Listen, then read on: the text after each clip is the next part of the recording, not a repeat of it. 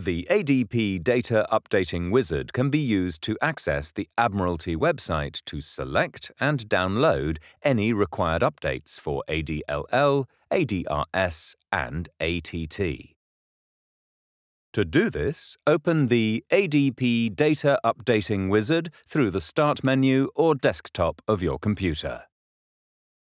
If this is the first time you have opened the Data Updating Wizard, we will now ask your consent to allow the UKHO to collect the necessary usage information directly from your application in order to make future improvements to ADP.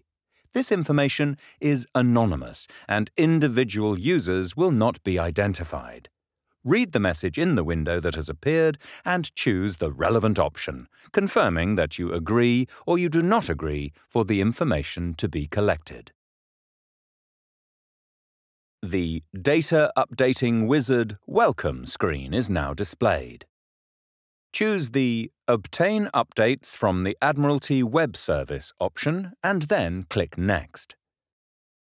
The Choices screen is now displayed. Choose the Connect to Admiralty website to manually download files option and then click Next. The Admiralty ADP update page will now be displayed in your default web browser. From this page, it is possible to select ADP updates from a specific week depending on your requirements. First, choose the relevant software version and the product updates you wish to download updates for. Then, from the drop-down menus, select the appropriate week from which you wish to download updates.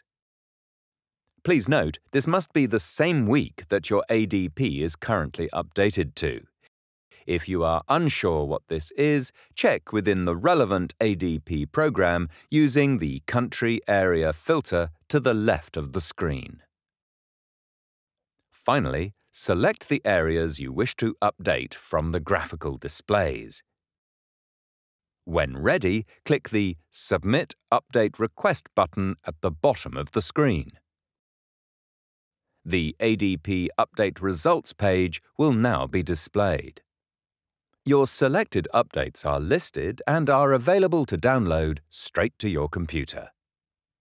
Please note these updates will be separated into individual area files as well as one cumulative file for each product, as well as one cumulative file for all products. Click the files you wish to download and choose a location on your system to save them.